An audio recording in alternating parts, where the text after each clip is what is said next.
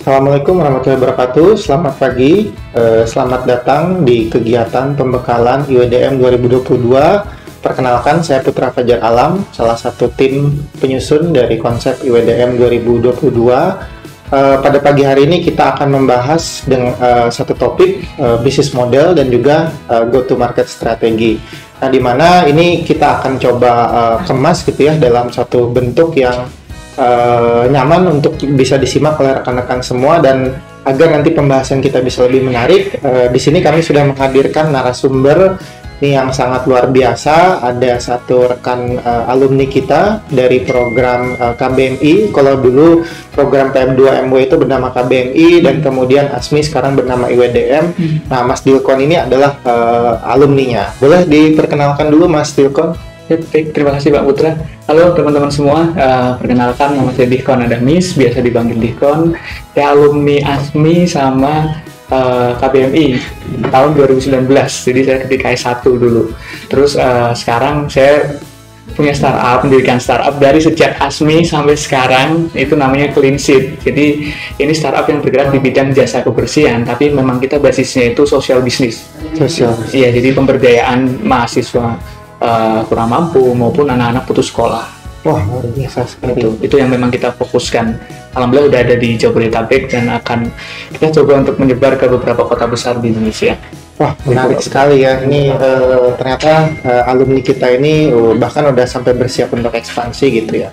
Nah, jadi Mas Dilkon eh, pagi ini kita mau coba eh, diskusi ngobrol-ngobrol gitu ya dengan topik bisnis model dan juga go to market strategi gitu ya. Di mana eh, bisnis model dan go to market strategi ini teman-teman eh, penting untuk dipahami sebagai salah satu eh, persiapan gitu ya eh, agar nanti teman-teman bisa menjalankan eh, wirausahanya ataupun wirausaha digital seperti itu.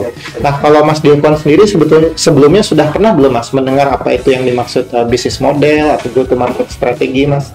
Oh sudah, saya udah itu benar-benar pelajaran awal saya. Awal ya. Iya itu dasar banget untuk eh, kita memulai bisnis. Biasanya udah ada bisnis modelnya. Oke, nah itu kalau dari eh, pemahaman Mas Dilkon sendiri bisnis model itu apa sih Mas? Itu yang dimaksud dengan bisnis model? Oke, kalau bisnis model menurut saya lebih ke apa namanya? eh, lebih ke gimana caranya perencanaan bisnis eh, baik konvensional maupun startup biasanya itu sebelum kita jalan atau memvalidasi pasar itu menggunakan bisnis model dulu. Bisnis model banyak hal ya, termasuk bisnis model kanvas nantinya. Nah kalau di saya dulu ya bis- pakai bisnis model dulu sebelum menjalankan clean sheet. Sebelum menjalankan clean sheet itu modalnya pakai Iya, bisnis bisnis model, model. dulu ya Mas ya? Itu yang paling sederhana pokoknya. paling sederhana ya. Oke, paling sederhana tapi mungkin di situ juga eh, sudah ada gambaran Iya. gitu ya. Nah, itu eh, yang dulu pernah eh, Mas eh, Dilkon lakukan eh, itu kan tadi sudah menyinggung juga bisnis model kanvas gitu Iya. ya. Apa sih Mas yang dimaksud bisnis model kanvas itu Mas? Nah, kalau bisnis model kanvas itu sebenarnya berisi eh, apa namanya kayak pasarnya, Pasarnya. apa pokoknya keseluruhan dari proposal yang tadinya panjang, nah itu diringkas dalam satu bisnis model kanvas atau satu kertas saja kanvas. Nah, itu namanya kan namanya kan kanvas. Nah, di situ ada banyak eh, baik dari pasarnya, produknya apa, keunggulannya apa. Nanti di situ ada semua. Makanya sebelum jalan bisnis biasanya membuat bisnis model kanvas dulu. Dari situ nanti kita ketahuan tuh eh, kita mau jualannya gimana, Jualannya gimana ya gitu. produknya kita itu yang mau tawarkan apa, terus juga pelanggannya apa dan lain sebagainya lah macam-macam lagi. kita ada identifikasi Iya, juga identifikasi. calon pelanggannya dari Iya. awal gitu ya. Ya betul. Oke oke oke. Dan juga eh, tentunya mungkin nanti di situ perlu dilihat juga gitu ya apa yang akan bisa menjadi unique value Iya, betul. atau value proposition dari si produknya gitu ya. Lalu apalagi mas komponen yang ada di dalam bisnis model kanvas? Nah kalau yang terpenting sebenarnya eh, kalau di bisnis model kanvas ya biasanya awal itu produknya apa, produk atau layanan ya. Kalau clean sheet kan layanan. Layanan. Iya, tapi dalam bentuk produk juga sih dalam apps juga.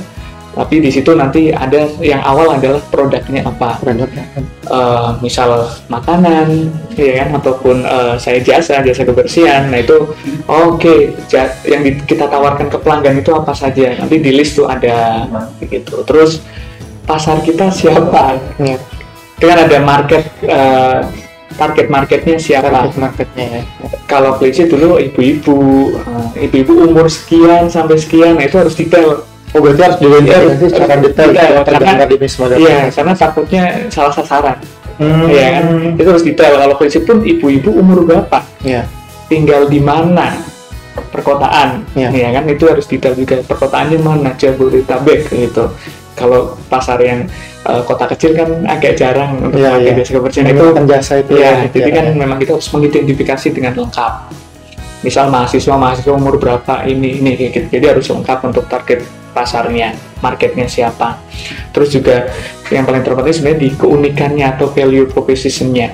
Apa sih yang membedakan kita produk kita dengan uh, produk kompetitor atau yang sudah ada?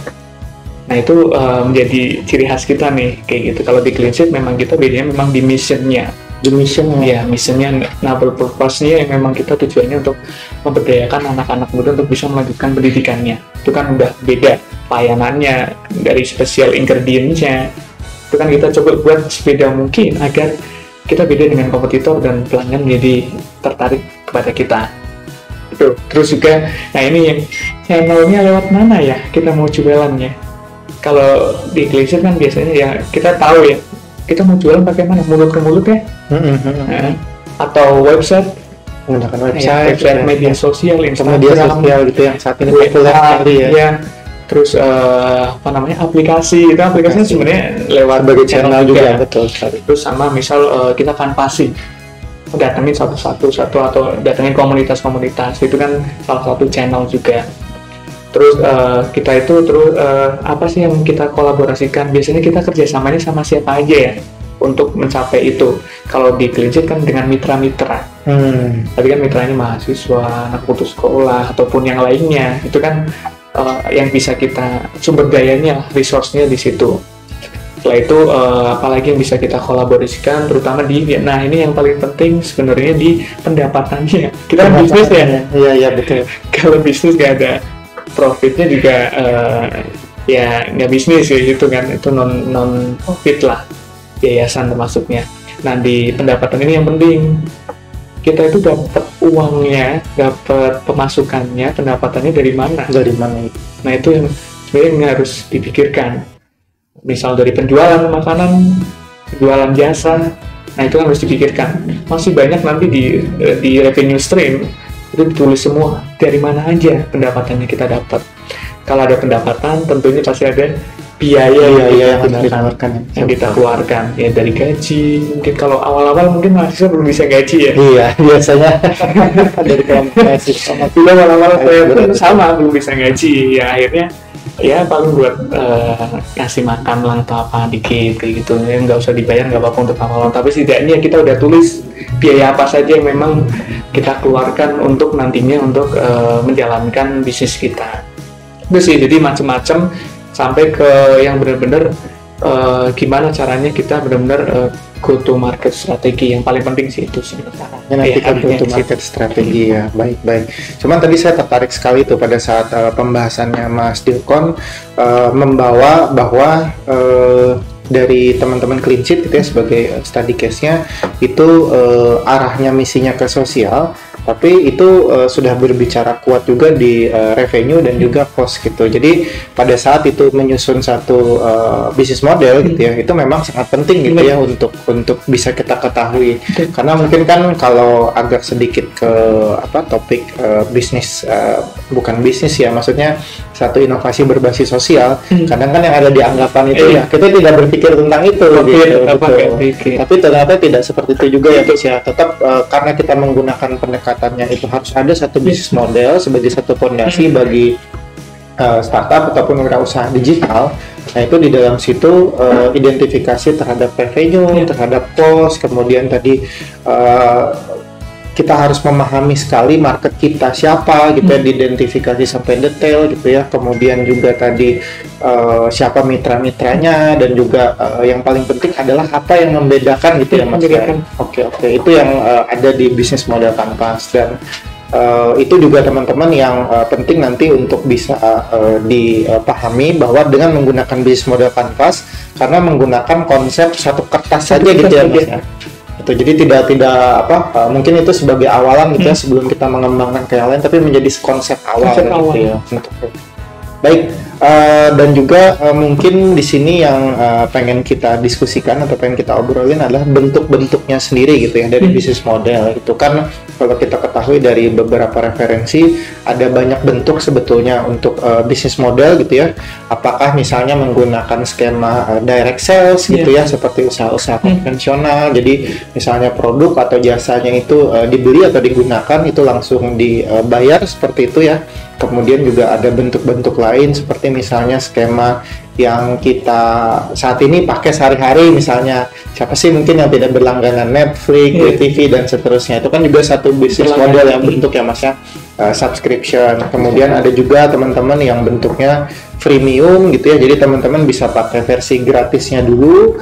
Kemudian ada uh, fitur lengkapnya itu itu pada saat di premium account seperti hmm. itu. Nah kalau dari Mas uh, Dilkon sendiri dengan pengalaman sheet dan juga mungkin boleh kalau uh, Mas Dilkon punya pengalaman dari cerita uh, teman-teman wirausaha gitu ya itu biasanya bisnis model apa saja sih yang uh, apa sudah coba diterapkan dan mungkin bisa diceritakan juga dengan bisnis model tersebut uh, apa ka karena kan tadi di awal uh, harus sangat memahami pelanggan gitu yeah. ya. Nah, itu dari uh, berbagai macam bisnis model yang dicoba itu kira-kira yang mana sih yang paling tepat seperti itu? Oke, okay, uh, sebenarnya tadi macam-macam ya tergantung uh, bis, uh, visinya seperti apa. Clean pun sebenarnya bisa semua itu. Ya, tapi yang paling utama adalah yang awal sebenarnya yang yang perlu saya sampaikan adalah sebelum kita buat bisnis model semua, ya kita harus tahu dulu uh, why kita why apa. Ya. Maksudnya kan tadi saya bilang missionnya, nah, noble purpose-nya. Purpose uh, karena biar nanti jelas tuh, oh kita itu mau menjaring berapa orang mau membantu berapa orang, mau menolong pelanggan berapa orang, itu kan nanti jelas. Nah nanti arahnya baru ke situ yang tadi berlangganan kah? Iya betul. Ya. Ataupun langsung jual, habis itu kita dapat. Ada juga yang seperti itu. Sama yang uh, yang tadi Pak Putra juga sama premium dan di, di Klisit pun kalau memang mau minta premium bisa yang bisa di upgrade ya, di upgrade peralatan yang lebih canggih yang lebih canggih bisa tapi yang saya dapat cerita dari dulu di ASMI itu kan banyak teman-teman startup yang bareng-bareng maupun di KPMI lah kita bareng-bareng cerita. Bisnis modelnya macam-macam. Dan ternyata uh, bisa semua bisa digunakan semua asal uh, kita tahu memahami betul bisnis kita seperti apa pasar kita seperti apa. Karena apalagi dengan pandemi ya kemarin uh, itu benar-benar uh, naik turunnya cepat banget. Karena uh, zaman berubah begitu cepat. Yang tadinya orang keluar habis itu ke rumah aja di rumah aja habis itu keluar lagi. Ini kan gerak cepat. Makanya kalau memang yang tadinya saya di klincit kan berubah-ubah. Dari yang tadinya berlangganan ganti ke yang uh, setiap hari yang masan terus ganti lagi ke ada yang ke premium. Jadi kita menyesuaikan pelanggan. Hmm. Makanya eh, nggak uh, ada yang salah sebenarnya semua saya lihat uh, cerita-cerita dari teman-teman yang saya temuin dulu waktu di startup itu semuanya berhasil ternyata tapi ada yang gagal juga tergantung hmm. dari kita memahami bisnis kita seperti apa dan pasar kita seperti apa kuncinya itu ya pemahaman terhadap bisnis yang hmm. dijalani dan juga uh, pasarnya atau pelanggannya hmm. gitu ya karena tadi uh, dari sekian banyak memang sih kalau kita uh, cari gitu ya teman-teman dari referensi. Uh, dan juga kita malah tadi belum mention juga yang skema franchise yeah. atau ada juga yang misalnya pay what you want gitu ya kemitraan hmm. kemudian pay what you can dan seterusnya. Jadi ada banyak sekali teman-teman model bisnis yang bisa dijalanin dan sekarang ini juga ada bentuknya teman-teman yang uh, O2O online to offline gitu ya atau uh, break and click. Jadi intinya adalah dari contoh contoh-contoh skema tersebut memang uh, di sini bisa kita uji coba ya mas yeah. ya. Jadi jangan takut ya, untuk takut. uji coba uh, berbagai bisnis model itu. Uh, yang penting adalah uh, apa bentuk yang paling cocok gitu ya uh, baik itu disesuaikan dengan kemampuan bisnis dan juga dari sisi pelanggannya gitu ya. Mereka lebih familiar yang mana.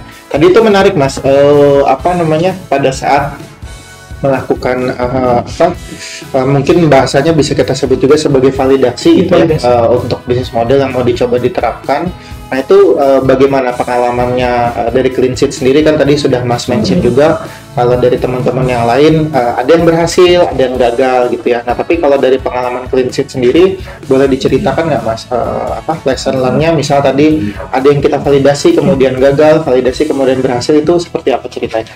Eh, nah itu dari setelah bisnis model kami itu kan dulu itu sebenarnya nggak beranggapan luas ya pasarnya makanya ide itu akan sempurna ketika kita jalankan Oke. Eh, clean sheet dulu sama sekarang beda banget kayak gitu Hmm. dulu itu Iya, kami iya. itu hanya berpikiran oke pasar kita mahasiswa di lingkungan Hmm. sekitar kampus oke sederhana banget kayak gitu jadi benar-benar sederhana dan sebagainya nah dari sederhana itulah eh, ternyata kita pindah-pindah juga kita coba dari mahasiswa kok nggak cocok Mm-mm.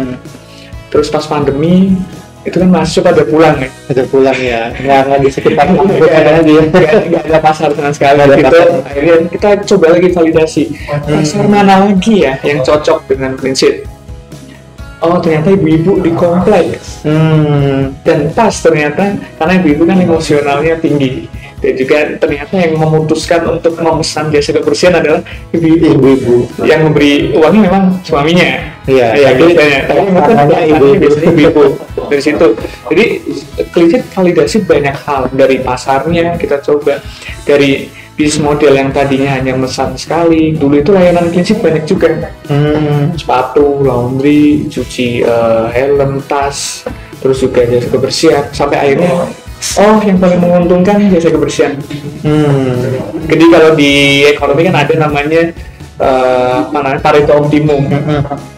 Jadi mana yang effortnya 20% tapi hasilnya 80%, dibanding 80% effort Dua- tapi 20% hasilnya ya mending yang 80 tuh. Makanya ketika udah nemu itu, nah itu sebenarnya yang kita pilih validasinya. Hmm. Semuanya dimatiin tuh. Eh, cuci dan sebagainya dimatiin semua akhirnya saya memilih untuk udah biasa kebersihan pasarnya ibu-ibu dan dari ibu-ibu lagi berkembang lagi ke pasar yang perusahaan, instansi dan sebagainya. Dari situ kan mulai berkembang. Saya pun pernah nyoba franchise pernah kemitraan pernah jadi orang nanam modal di kita udah kita yang yang iniin per cabang.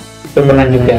Jadi kalau dalam uh, teman-teman pokoknya semua coba aja dan Ya. juga uh, kumpul dengan adanya program ini uh, jadi lebih kita bisa ber apa ya bercerita maupun dapat pengalaman sharing dari teman-teman yang lainnya yang pernah mencoba itu sih pak yang memang uh, Clean Sheet pernah jalani ya jadi jatuh bangunnya ya lumayan Tapi justru di situ ya Hmm. eh, pada saat teman-teman melakukan proses validasi, mengalami jatuh bangun, Hmm.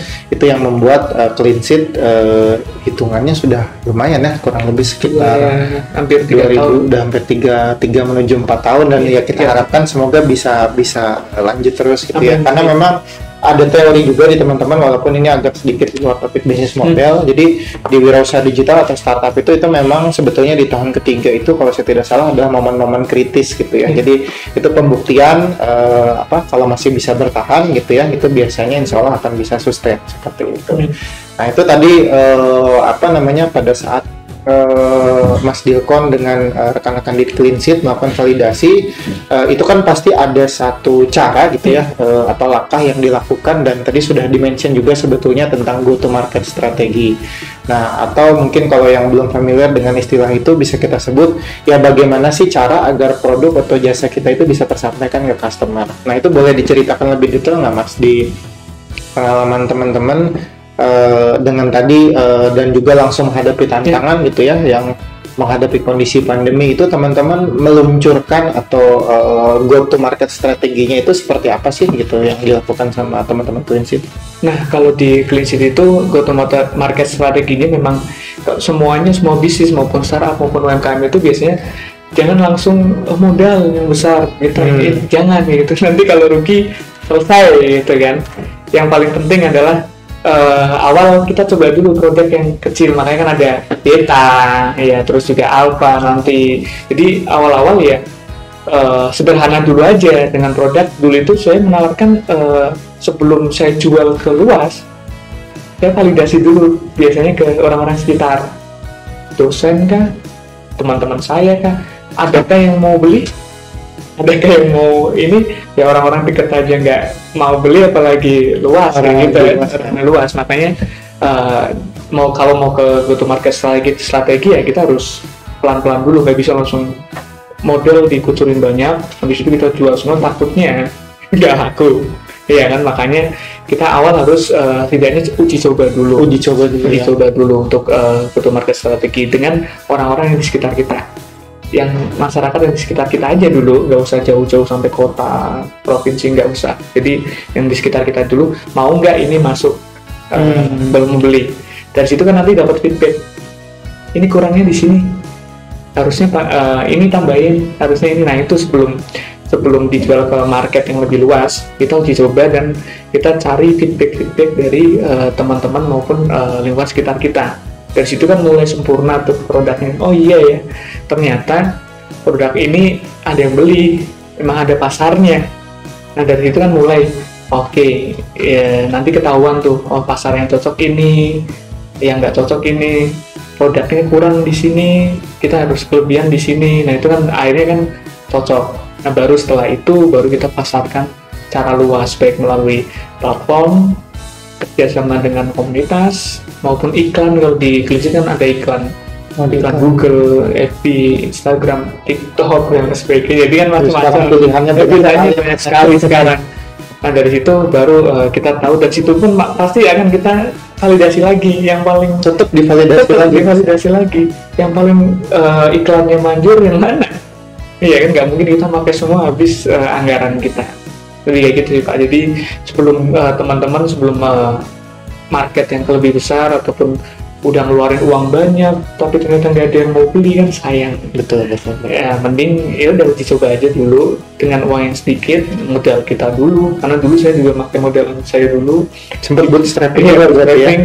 terus juga dapat tiba dari dari Kemendikbud dan sebagainya. Ya udah akhirnya eh, itu yang menjadi hal yang memang untuk kita uji coba sebenarnya di situ itu Wah, menarik sekali ya perjalanannya. Jadi teman-teman di situ bisa kita lihat bahwa memang prosesnya itu harus bertahap gitu ya. Iya. Jadi meskipun uh, istilah go to market strategi itu uh, kita bisa lihat juga gitu ya uh, si apa big player saat Iya. ini gitu ya. Itu kan bahkan udah sampai muncul dengan istilah bakar uang Iya, gitu ya. Bakar Jadi, duit. Nah, tapi mungkin itu jangan teman-teman coba dulu pada saat masih di fase awal. Iya. Tapi tadi uh, kuncinya adalah memvalidasi dulu atau memastikan apakah produk ini bisa diterima oleh calon pelanggannya atau tidak gitu ya. Yang tadi eh, memang betul itu secara teori pengembangan eh, software juga eh, atau satu produk itu itu ada versi alfanya gitu ya, kemudian versi beta gitu atau yang bahasa sederhana kita mungkin kalau kita bikin prototype eh, istilahnya itu pakai dummy dulu Iya, seperti dummy itu. Jadi belum harus bentuk langsung Iya. gitu ya. Atau mungkin kalau jasa itu ibaratnya kita eh, kasih demo Iya, atau demo. dicoba dulu gitu Ini ya. coba mau nggak gitu Mau nggak gitu. Kemudian dari situ eh, baru didapatkan feedback gitu ya dan feedback itu yang terus menerus eh, bisa memberikan apa ya istilahnya itu men-share bentuk gitu ya.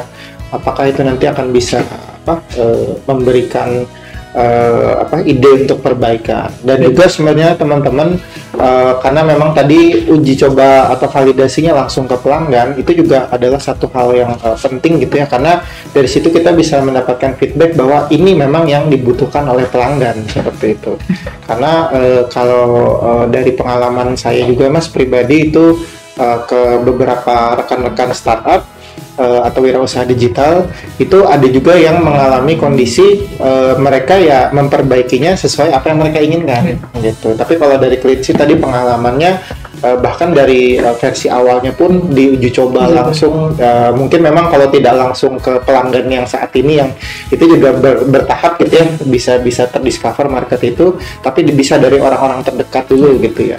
Tapi memang arahnya tadi uh, selain uh, demo, uh, tapi sudah ada apa proses uh, uji coba juga untuk membeli gitu ya Iya, atau menggunakan jasa itu secara berbayar. Ya, ya.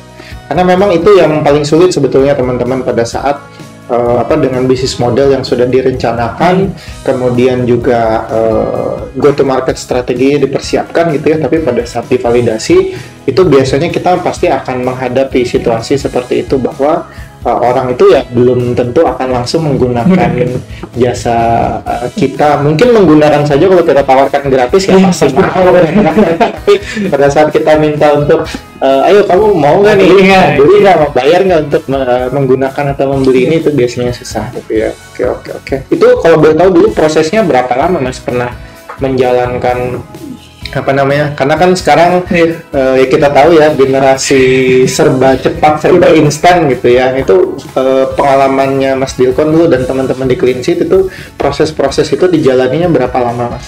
Kalau dulu saya itu kan uh, cleansheet kan di Agustusan di Agustusan 2019. Jadi eh, sampai akhir pun kita 2020 pas pandemi itu kita benar-benar Hmm. baru bisa setidaknya sustain agak-agak sustain. Tapi dari awal itu eh, cepat atau lambatnya tergantung kita sebenarnya. Hmm. Saya kan dulu nggak ada pengalaman apa, apalagi dari mahasiswa ya teman-teman yang dari mahasiswa. Nah ini yang paling penting dulu itu saya belum menemukan mentor, Hmm. mentor membimbing itu. Akhirnya ya udah lama, agak lama itu sekitar hampir satu tahun mungkin terbang ambing nggak tahu bisnis model ini yang bagus ini yang bagus. Nggak tahu. Tapi setelah ada mentor, nah itu lebih cepat lagi. Lebih mempercepat ya, mempercepat. Itu kalau di mahasiswa itu kendalanya itu sih sebenarnya. Karena kan kita ya udah masih kuliah fokusnya bukan bisnis kan. Bukan menangani bisnisnya.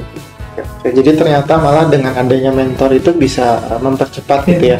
Dan ini mungkin sebagai tambahan juga teman-teman bahwa nanti di program IWDM itu juga menjadi salah satu komponen utama yang akan di uh, deliver dari program uh, IWDM bahwa teman-teman akan diberikan pendampingan dan juga uh, mentor uh, mentoring oleh para mentor yang uh, berpengalaman gitu ya.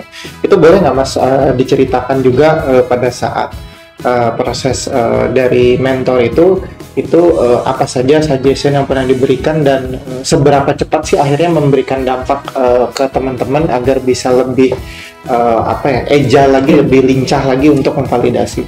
nah kadang kan dengan adanya mentor itu sebenarnya eh, beliau kan udah jalan dulu ya.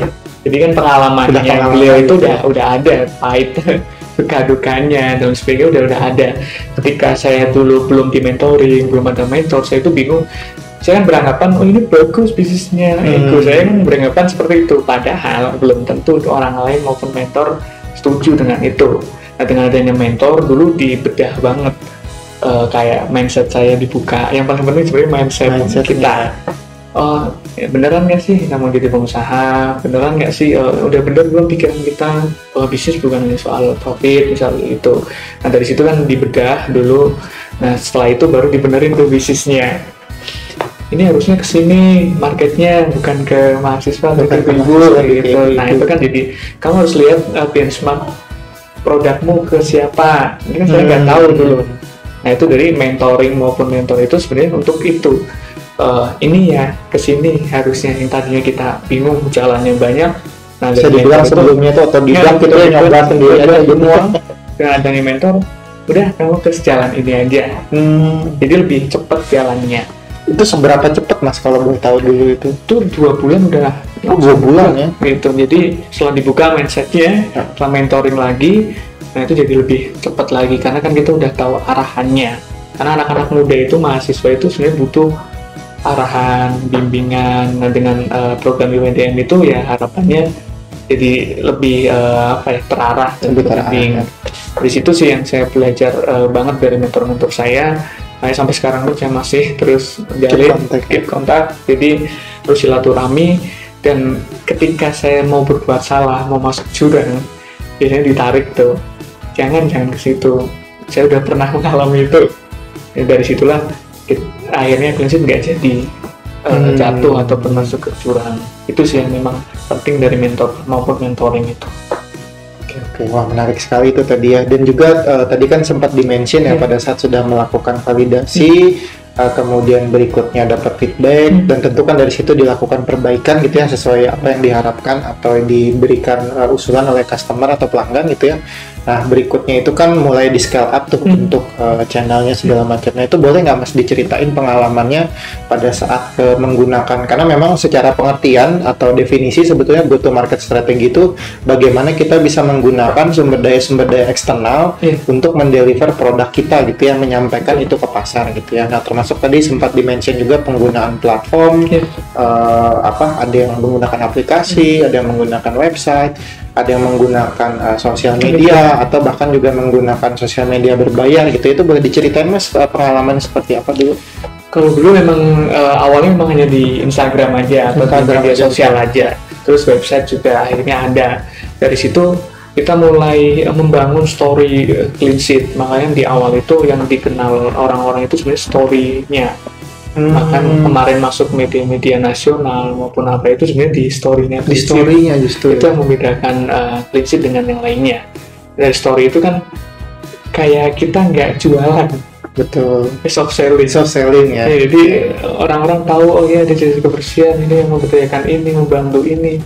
Dia otomatis kita nggak perlu tawarin pun. Betul. Dia justru dia tertarik gitu dia ya. tertarik. Dari media itu kita kerjasama dengan eksternal juga dengan media-media. Dari media satu dulu di PB itu eh, ngeliput sheet awal terus habis itu naik ke kota Bogor terus naik ke TV juga nasional. Nah dari situ kan naiknya cepat betul. Itu kalau sudah masuk di apa mass media Iya. biasanya langsung cepat. Jadi media lain pun ngikutin. Nah dari situ kan mulai dari media sosial maupun kita kuatin aplikasi kita kuatin iklan di aplikasi maupun yang lainnya sama kita kolaborasi dengan berbagai komunitas-komunitas yang memang itu menjadi pasar kita dan kita bisa membangun eh, engagement dengan pelanggan jadi loyalitas ke pelanggan itu bisa jadi terbentuk bisa gitu dari terbentuk. Iya. jadi eh, makanya prinsip uh, order sambangan donasi sebenarnya. Jadi semakin besar prinsip, semakin banyak juga anak-anak yang bisa kami bantu.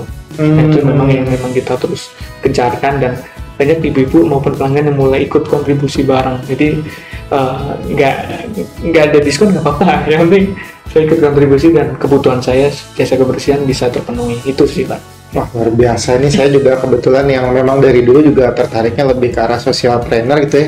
Ini jujur pribadi merinding nih dengar cerita bahwa teman-teman clean sheet ini memang sebetulnya bukan hanya membawa di apa eh, apa namanya produknya gitu, ya, tapi justru message-nya gitu ya. Tapi itu juga sebetulnya teman-teman kalau kita lihat perkembangan saat ini eh, bisa dibilang itu merupakan salah satu go to market strategi yang terbaik teman-teman karena kita tahu gitu ya dan mungkin Mas eh, Dilkom juga nanti bisa cerita juga bahwa kalau direct ataupun hard selling itu memang kayaknya orang tuh udah ada gimana gitu ya udah iya. enggak gitu ya tapi justru kan dengan campaign yang dibawa atau Iya. misalnya teman-teman juga bisa melihat kan dari eh, berbagai macam platform crowdfunding gitu ya Iya. misalnya kita bisa.com gitu ya dan eh, ataupun platform yang lain pada saat ada satu message dan message-nya itu sebetulnya noble purpose-nya Iya, gitu purpose. tadi ya Eh, jadi teman-teman ini mungkin buat tambahan juga ini juga dulu buat Nah, saya pribadi mengetahui program KBRI dan ASMI ini memang eh, satu hal yang menarik itu eh, apa diminta untuk dideskripsikan apa itu noble purpose atau tujuan mulia gitu.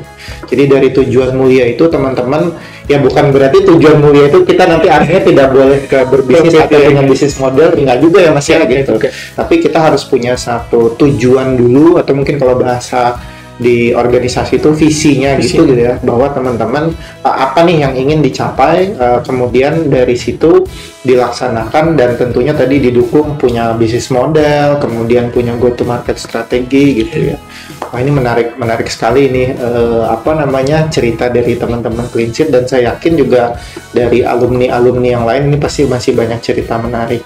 Nah, tapi teman-teman semua uh, berhubung hari ini kita uh, juga terbatas waktunya, uh, jadi uh, mungkin saya ingin menyimpulkan sedikit teman-teman bahwa bisnis model dan juga go to market strategi ini sangat penting untuk uh, di awal itu teman-teman pahami terlebih dahulu. Jadi tadi perjalanan dari teman-teman clean sheet ataupun Mas Dioko secara pribadi gitu ya. Jadi kalau bisa di awal itu buat perencanaannya dulu gitu. Jadi perencanaan pun uh, dengan menggunakan pendekatan bisnis model atau nanti toolsnya bisnis model canvas itu bisa mengidentifikasi juga teman-teman siapa pelanggannya, kemudian siapa mitranya, apa unique value yang mau dibawa, kemudian juga kanalnya gitu ya. Uh, kemudian yang juga tidak kalah penting adalah uh, kira-kira kita bisa dapat revenue atau pendapatannya dari mana beserta juga dengan struktur biayanya ya Mas ya. Dan juga uh, setelah itu dipersiapkan uh, tidak hanya uh, apa ya oh kita udah punya nih bisnis model atau bisnis model kanvas sudah beres enggak tapi justru divalidasi validasi validasi lagi ya mas ya dan juga nanti pada saat proses validasinya itu sembari persiapan untuk diluncurkan ke pasar diuji coba dulu secara eh, bertahap gitu ya. Baru kemudian kalau misalnya dari situ sudah semakin matang baru diperluas gitu ya mas ya. Jadi kita tidak tidak apa ya tidak akan me- apa memboroskan sumber daya juga. Kecuali mungkin nanti sudah sampai di levelnya diinjek investor udah Iya, siap bakar uang mungkin berbeda ya mas ya. Hmm. baik uh, teman-teman, uh, demikian uh, ngobrol santai kita pada pagi hari ini terkait dengan uh, apa namanya uh, topik bisnis model dan juga go to market strategi. Nah, di mana uh, pada pagi hari ini uh, apa kita tadi sudah dapat gambaran. Semoga nanti teman-teman juga tertarik untuk mengeksplor secara pribadi dan juga uh, kami harapkan nanti teman-teman semua uh, bisa berbondong-bondong untuk mencoba daftar ke UNDM karena nanti tidak hanya sesi pada pagi hari ini hmm. tapi juga uh, nanti ada sesi-sesi berikutnya termasuk juga tadi dengan mentor mentor-mentor yang super-super uh, yang insya Allah akan bisa membantu lebih cepat dan lebih tepat gitu ya Mas ya. Oke okay, uh, mungkin itu yang dapat uh, kami uh, sampaikan pada hari ini. Uh, saya izin mengakhiri. Uh, kurang lebihnya mohon maaf. Assalamualaikum warahmatullahi wabarakatuh Wah.